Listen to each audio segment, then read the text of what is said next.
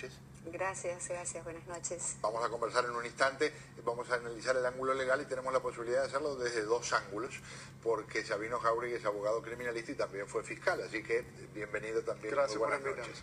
Empiezo en el aspecto legal.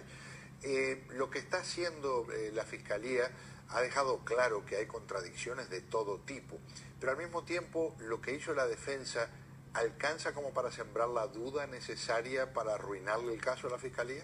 Eso es lo que están tratando de hacer. Están tratando de hacer esa duda, que como una, uno o dos de los jurados puedan creer de que ella actuó en defensa propia, de que este hombre la atacó a ella y que ella tuvo ningún otro remedio que defenderse. Pero el fiscal lo ha hecho muy claro durante estas eh, interrogaciones, esta cross-examination muy fuerte que la ha hecho, que, que ella no tuvo por qué meterle 27 eh, cuchilazos a él, no hubo por qué cortarle el cuello eh, a él y, y, un tiro también. Esto es mucho más allá que defensa propia. Esto parece que es un crimen de pasión, un crimen de odio, que ella quiso desbaratar a este hombre.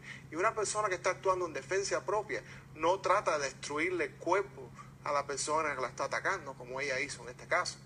Y hay la serie de mentiras, una atrás de la otra, que si ella de verdad, de verdad actuó en defensa propia, ¿por qué mintió? ¿Por qué primero dijo que no estaba ahí? ¿Por qué después mintió y dijo que habían sido robados? Una mentira atrás de la otra, que si uno de verdad actuó en defensa propia, que uno actuó correctamente, no va a meter estas mentiras. Veamos el ángulo eh, de lo que puede haber en esa mente.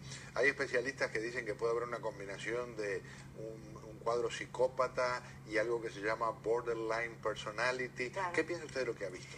Bueno, sin duda habría que estudiarla en profundidad, pero desde mi punto de vista se trata de un trastorno de la personalidad narcisista.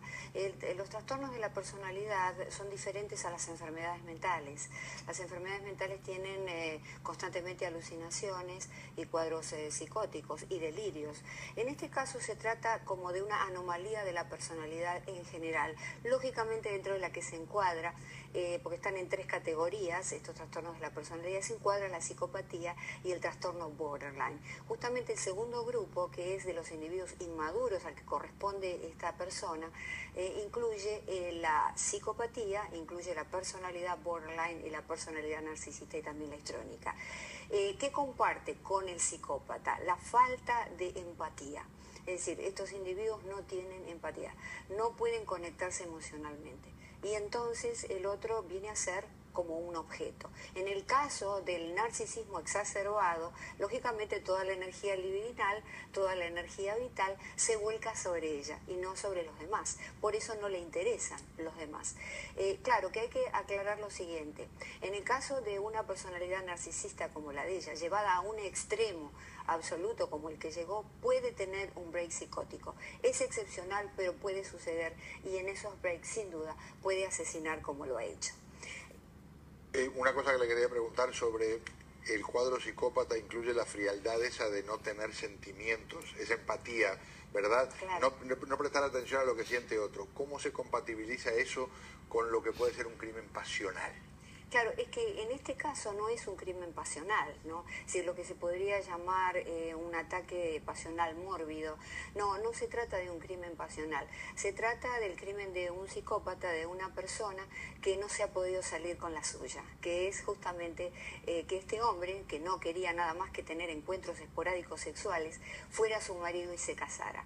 Ante eso, eh, desarrolla una gran rabia y entonces decide deshacerse de ese objeto porque no ha cumplido con sus expectativas. Eh, el abogado la escucha y estoy seguro que está pensando, bueno, todavía no la declararon culpable, pero todo apunta en esa dirección si se mantiene lo que creemos. Pero de lo que creemos a lo que piensa un jurado hay una diferencia muy grande, ¿verdad? Y yo creo que es un gran fallo que ha cometido el fiscal en este caso, que le ha ido atacándola a ella bien agresivamente por ya varios, varios días. Y lo que está, y lo que está pasando es que el jurado como no le está cogiendo lástima. Y ella está llorando y llorando y él atacando y ella llorando. Y, y como un fiscal tú no quieres que le cojan lástima. Porque aquí, aunque él gane el caso, ¿ok? Y la encuentren culpable, él puede perder lo más importante que es la pena de muerte, que es lo que quiere. Él lo que quiere es la pena de muerte, hacerla, creo que es la cuarta mujer en ese estado para, para recibir la pena de muerte. Pero si le cogen, eh, si, si, si piensan que ella puede ser una posible víctima de este fiscal, como ahora no le dan la pena de muerte y le dan cadena perpetua, vida en cárcel, que eso viene siendo una victoria para la defensa en este caso, porque este es un caso que hay más que suficiente evidencia para encontrar a la culpable. Ahora, Sabino, por lo que me dice, ¿es realista pensar que le convenía más a la fiscalía que ella se mantuviera calma como estuvo en los primeros días del testimonio que la reacción emocional? Es mejor que estuviera más calmada, ¿ok? Porque ahí parece una persona calculadora, que ella quiso matarlo, que lo hizo con premeditación, ¿ok? Como dice la doctora, es una persona que no tiene empatía ninguna contra la persona con la que mató, es un robot, no tiene sentimiento. Y una persona de ese tipo sí puede matar a alguien de la forma que lo hizo ella. Entonces, lo que está haciendo con este lloreteado, donde ella está llorando, lo que le van a coger es lástima y se le cogen lástima como no le salvan la vida, que no es lo que quiere la fiscalía. Falta bastante para este caso, así que los eh, invito para un próximo capítulo para poder seguir hablando si les parece oportuno. Muchísimas gracias por acompañarnos. Gracias, gracias. La psicóloga Cristina Balinotti, el abogado y ex fiscal Sabino Jauregui con nosotros. Vamos a un paréntesis.